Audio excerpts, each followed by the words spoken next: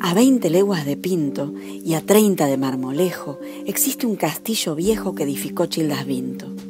Eran su esposa Leonor y su tía Berenguela y una hermana de su abuela y su cuñado Vitelio y el niño menor, Rogelio.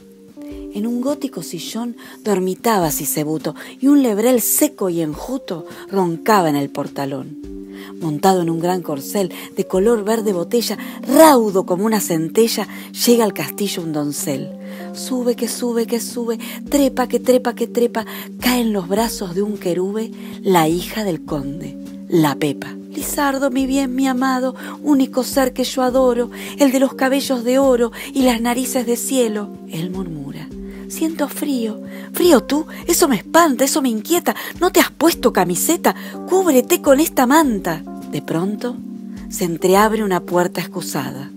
Entra un perro, luego un gato, luego el conde y luego Na. ¡Hija infame! brama el conde. Y tú, mal caballero, fija cómo estampo yo en tu cara estos dedos de mi mano. El galán, por supuesto, muerto fue como un conejo. Ella frunció el entrecejo y enloqueció de repente.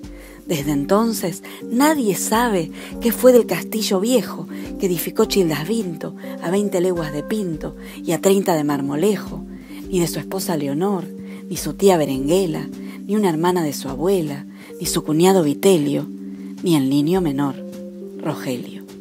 Versión libre del poema El conde Sisebuto de Joaquín Abati y Díaz.